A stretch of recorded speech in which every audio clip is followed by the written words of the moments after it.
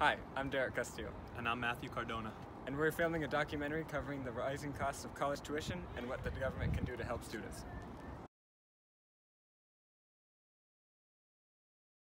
Education are essential in today's economy. Any government organization would love for more students to go to college because it's essential to the growth of a nation in general. But with the rising cost of tuition in the last three decades, it has not been, it, there's a big barrier for students to come to college. And with that rise in tuition, it prevents them from wanting to attend college in the first place. So there's lots of government assistance out there, but it has not met the rising costs of tuition within these last three decades. So for a nation to grow and truly prosper, you would want all, if possible, of its people to attend a college or higher edu- or get some form of higher education because it is essential for the growth of that nation. Now, I understand there's going to be those opposed to go- more government assistance for college students, and we'll take a quick look at their side of the story.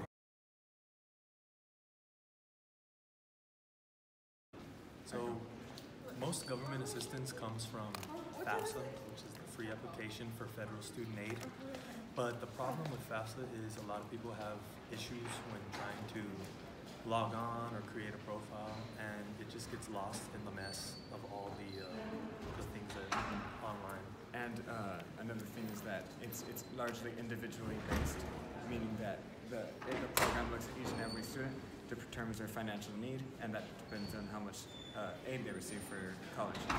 Problem with this is that it runs off taxes. FAFSA spends roughly just over $300 billion a year on this program. But the problem is that the, it, since it runs on taxes, that means that the middle class largely ends up paying for it. And since it's individually based, middle class families usually don't receive as much aid as they would need to, to pay for their uh, sons and daughters' colleges. So counter this, if we were to put more money into FAFSA, more more uh, more tax money and and uh, government spending into FAFSA, we would we would eliminate this problem by helping by helping the the middle class receive more more aid for their uh, sons and daughters, as well as the the lower lower class. And then that's it.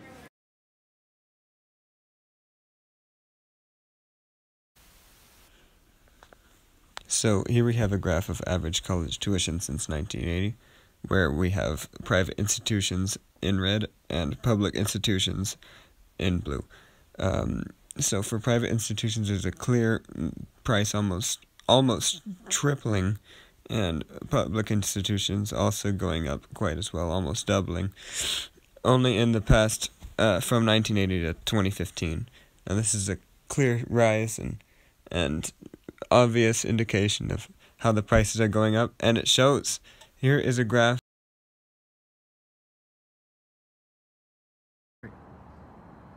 Hello, this is David Michael Castillo, and he's a student here at the University of Texas at El Paso. I'm going to ask him a couple questions regarding the rising cost of tuition.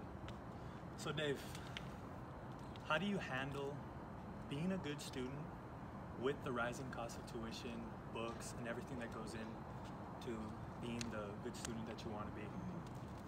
Uh, that's a really good question. I'm, I'm, a, I'm a peer leader, so I always tell my students that your your school is your absolute number one focus. If you're working too many hours, talk to your manager, see if you can work something out so that you can focus your priority on being a student.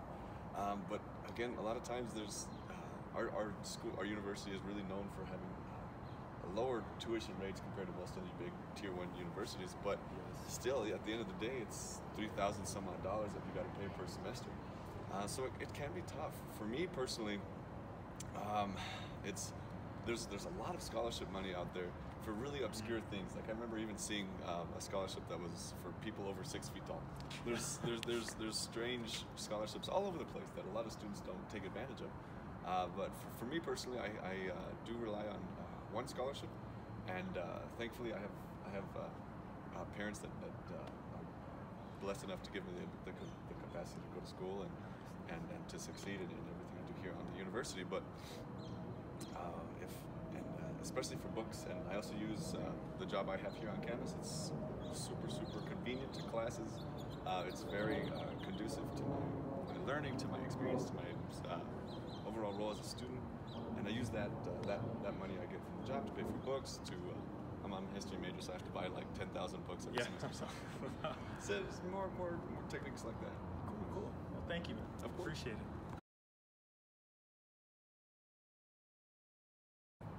So this is Lauren Rodriguez. She's also a student here at UTEP. So Hi. With the rising college tuition prices, books, everything you need to attend college, how do you handle still being a good student, making money, and everything you need to do to, to go to school here? Well, I didn't start being a good student until this semester, but um, I fortunately receive a lot of financial aid money. About I get the Pell Grant and the Texas Grant, so that's that's a good amount of money right there. So that covers tuition and that also covers books. But if you misspend that money, like I did, then um, you have to get a job. And currently, I have a job here at UTEP. Uh, unfortunately, it's not one that deals with my major. I'm a statistics major. Um, I work in the dorms, and so it is easily accessible since it is on campus. And my manager is very lenient when it comes to hours because she does understand that um, I am a busy student. So um, that does help pay for my books, for uh, you know printing, for my meals, for you know all everything that goes into the lifestyle of a college student. So Okay. yeah. Well, thank you very much.